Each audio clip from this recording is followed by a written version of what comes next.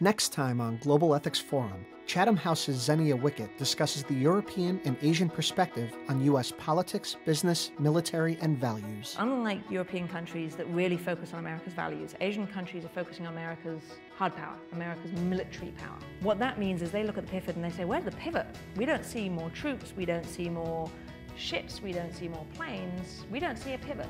Tune in Sunday at 10 a.m. on MHZ Worldview.